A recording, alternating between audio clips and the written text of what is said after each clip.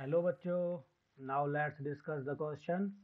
The question says as a part of maintenance inspection the compressor of a jet engine is made to spin according to the graph as shown.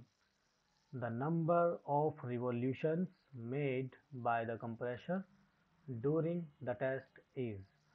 Now to solve this particular problem let's write down the key concept here.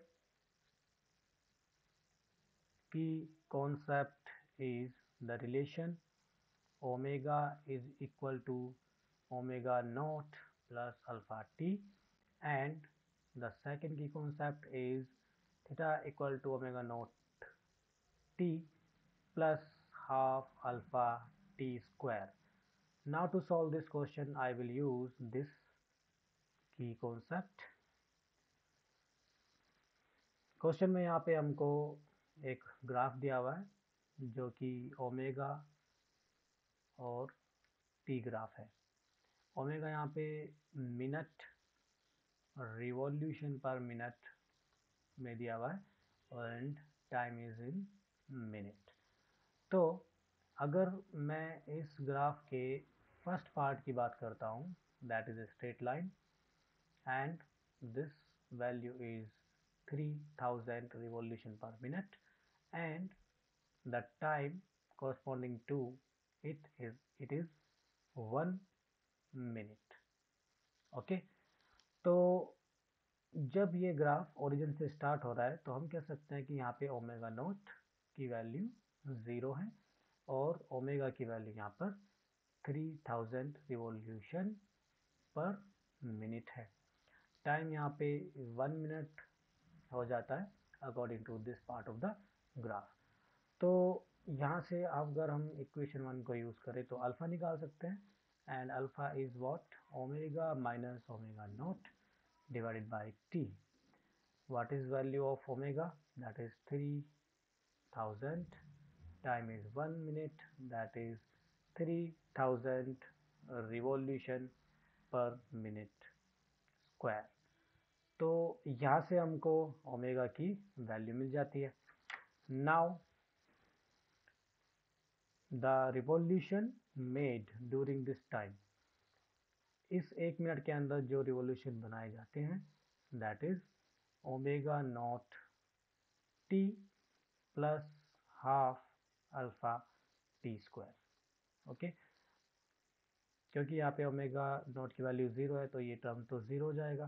और यहाँ से half alpha की value यहाँ पे three thousand and time is one into one तो यहाँ से theta की वैल्यू आ जाती है fifteen hundred revolu revolutions okay so this is the part first now we count for this part और इस पार्ट के लिए हम सीधा देख सकते हैं कि तीन सेकंड के लिए, अगले तीन मिनट के लिए ओमेगा कांस्टेंट है, और यहाँ पर जो रिवोल्यूशन आएँगे that is omega into T omega की वैल्यू यहाँ पे थ्री थाउज़ेंड और मल्टीप्लाई बाई थ्री मिनट तो यहाँ से ये आ जाएगा nine thousand revolution now for part third third part के लिए हम यहाँ पे देख पा रहे हैं कि इसकी एंगुलर वेलोसिटी एंगुलर स्पीड 3000 से यहाँ पर ज़ीरो हो जाती है in just 1.5 second okay so we can again use this relation to find out this alpha this is 0 this is 3000 plus alpha, and the time is 1.5 तो alpha की value यहाँ से हमारे पास आ जाती है। Two thousand revolution per minute square okay and the corresponding angular displacement मतलब यहाँ पर रिवोल्यूशन की अगर बात करें तो हम यहाँ पर ये इक्वेशन लगा के कैलकुलेट कर सकते हैं। तो ओमेगा टी की ओमेगा नोट की वैल्यू यहाँ पे 3000 multiply by 1.5 minus half alpha is 2000 and it is 1.5 into 1.5 तो इसको जब हम सॉल्व करते हैं तो यहाँ से हम इसको सॉल्व कर सकते हैं। Let suppose it is 10 and we eliminate this decimal part तो यहाँ पे आ जाएगा 4500 माइनस इसको अगर सॉल्व करते हैं then it is 1000